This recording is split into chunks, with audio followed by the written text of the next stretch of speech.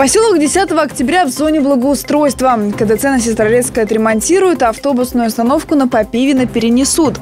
О перспективах развития района глава округа рассказала работникам химлабор прибора.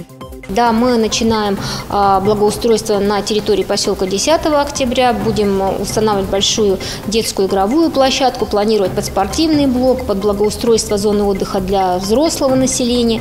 И все это уже в этом году.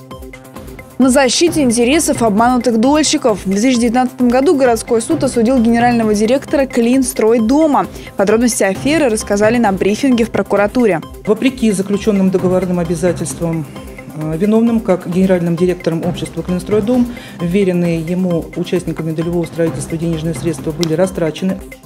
Вторник дарит шанс собакам из приюта обрести заботливого хозяина. Волонтеры взяли шефство над животными из муниципального приюта и уже нашли дом для 12 подопечных. Неделю назад у нас в приюте родились щенки. Вот от лабрюхи, и там вот еще в клетке сидит черкес. Вот у них родились щенята, 6 штук. Все здоровые, на удивление очень крупные. Освоить востребованную специальность можно даже при серьезном диагнозе или инвалидности. В колледже Подмосковья провели презентацию профессий для будущих абитуриентов с ограниченными возможностями.